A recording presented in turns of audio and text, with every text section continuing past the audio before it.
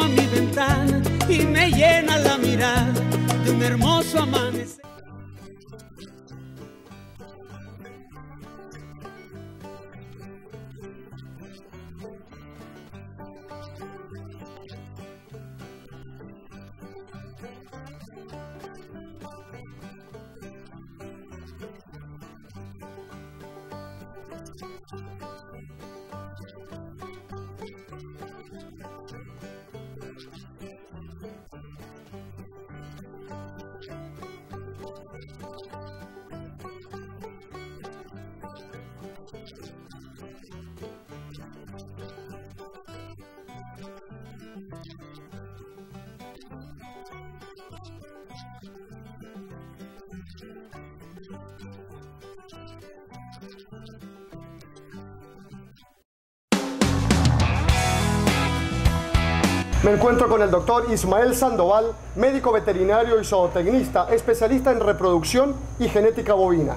Doctor, cuénteme cómo ha sido su trayectoria a lo largo de estos años y especialmente su involucramiento aquí en la Hacienda La Esperanza. Llevo 49 años de actividad exclusiva en la, reproducción bovina y la genética bovina. Me ha gustado ese campo porque siento que es un campo de tremendo impacto económico. He prestado una gran ayuda, pienso yo, en mi opinión, a los ganaderos comerciales de todo Centroamérica. Me fascina venir a esta hacienda, La Esperanza, porque es una de mis mejores fincas, no solo por el prestigio de la empresa, sino de la ganadería. Todavía vemos, doctor, en Centroamérica ciertos ganaderos que no están muy convencidos en usar toros puros en sus atos comerciales. La mayoría de ganaderos todavía obtienen sus toros de sus atos comerciales. Y, lástima que se dejan llevar por la información que le dan los vaqueros. Y a veces escogen los terneros eh, porque tienen un lucerito en la frente, porque tienen una, un, colorcito rojo ahí metido con el gris. A ese deja, no lo castres, a ese dejarlo para toro. Lástima, entonces se olvidan de los aspectos económicos importantes Digamos, si, si por lo menos se guiaran, mira, el que tuvo mejor ganancia de peso en el desmadre, eh, ese deja de toro. Ahí va, metido un factor económico importantísimo, sobre todo en razas de carne. La ganancia de peso es el factor económico más importante que, que tienen que buscar estos, estos ganaderos comerciales. Doctor, el utilizar toros que no sean puros, a la larga es como una aventura genética. ¿Qué me puede comentar al respecto? Los toros que obtienen de las fincas y, sin ninguna información económica valiosa, ahí esos ganaderos van para atrás, sinceramente se lo digo. Esos ganaderos van para atrás porque utilizan mala genética y no, no, no les influyen los aspectos importantes de, de genética.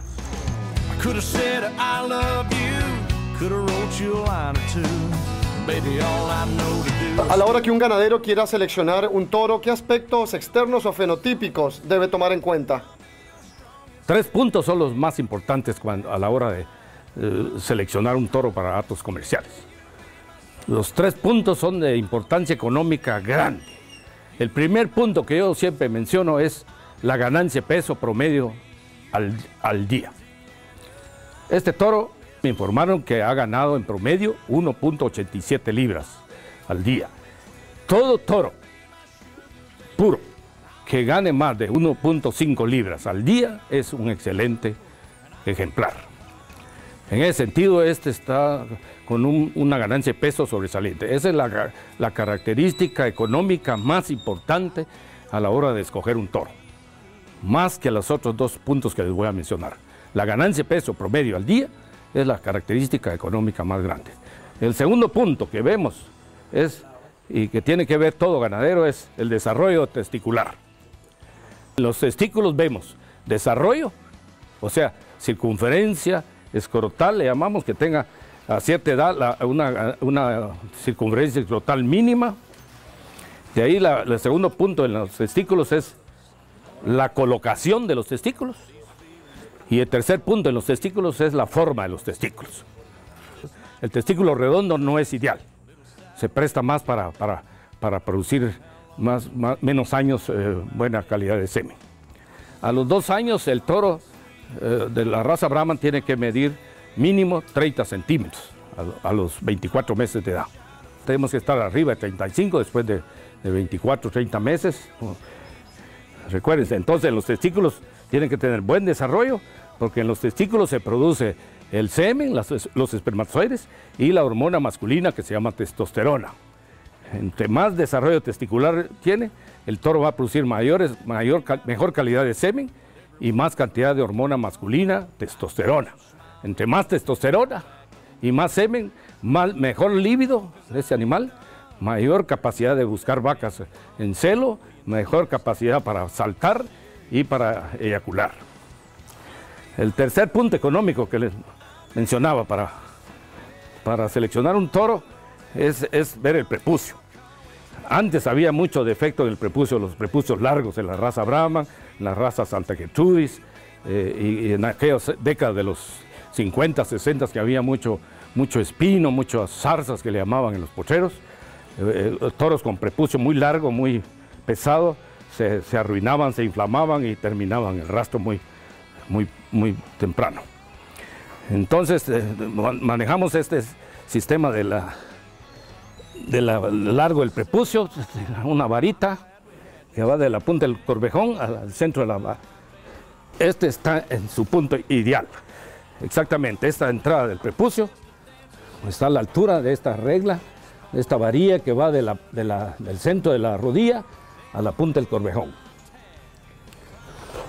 Cada, centímetro de prepucio que esté arriba de esta vara, que va, de la rodilla a la punta del corvejón, hereda 5% más de precocidad en la descendencia hembra. Eso es importante. Hablábamos de que cuando un ganadero comercial viene a una crianza pura, a, seleccionar y a, comprar sus toros, sus sementales, tiene que pedir la información que ya la tiene la finca. Ahí están escritos con las computadoras y con el personal de las oficinas toda la información valiosa que este ganadero pida. Ahí está, tiene la obligación las crianzas puras de informarle la ganancia peso promedio. Ahí enseñar los papeles. Mire, ellos son muy honorables, ellos no le van a escribir cosas falsas, ellos son muy respetuosos en eso. La ganancia peso pida, pregunten cuánto ganó este este animal promedio al día, hasta este momento. Eso les da una gran idea. Eh, cuánto pesó al, nacimiento es importante conocerlo, pero como digo, no, tiene mucha importancia porque para facilidad de parto es mejor que nazcan terneros con 60, 70 libras en esta raza brahma, por ejemplo. O en razas lecheras hay problemas, si, si el ternero nace arriba de 90, 100 libras, da, da problema en el parto, se muere el ternero, dificultad en el parto, se muere la, madre O sea, el, peso al, nacimiento no, es muy importante, solo conocerlo, con cuántas libras o kilos nace. Eh, para calcular esa. Pregunte toda esa información, si tiene suplemento, qué manejo me recomienda cuando me lo llevo a la finca. Yo no tengo potreros pequeños, yo no suplemento, yo no, qué minerales uso, qué, cuánto tiempo de trabajo pongo a trabajar a los toros, con cuántos días los, los roto, los descanso. Toda esa información, también la finca, que los oriente.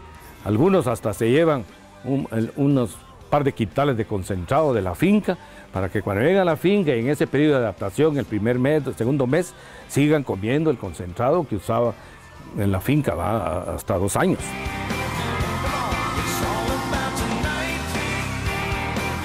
Bueno, contame, ¿qué recomendaciones le dan ustedes a un cliente que quiere comprar un toro que ha sido suplementado? Eh, sí, yo le recomendaría a cualquier ganadero que compre un toro, aunque no sea de acá de la finca, pero porque hay muchas ganaderías a nivel nacional. En primer lugar, hay que tratar de que de quienes se lo venden les proporcionen un quintal o dos quintales de concentrado de la fórmula que se hace en cada finca, sea la finca que sea.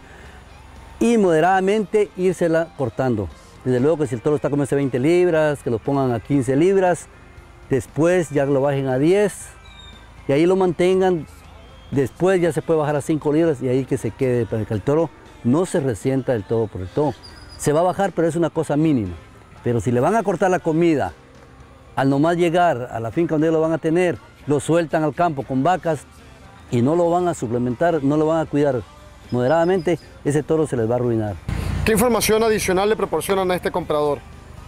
Desde luego que le vamos a proporcionar, si él nos exige, porque hay algunos compradores que, que todavía no piden ningún dato. Ellos dicen, yo quiero ese toro, quiero los papeles, se les entregan los papeles y a veces no piden algo otra información.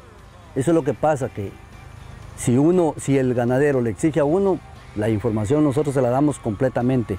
Desde luego le decimos, mire, ese toro viene, es de tal, hijo de tal toro, con tal vaca, que viene de la línea de tal toro, su ganancia ha sido de tantas libras diarias y el peso actual es de tantas libras. Entonces uno saca, ahí a ellos pueden pensar eh, que en realidad pues, están comprando un buen ejemplar. Ya volvemos.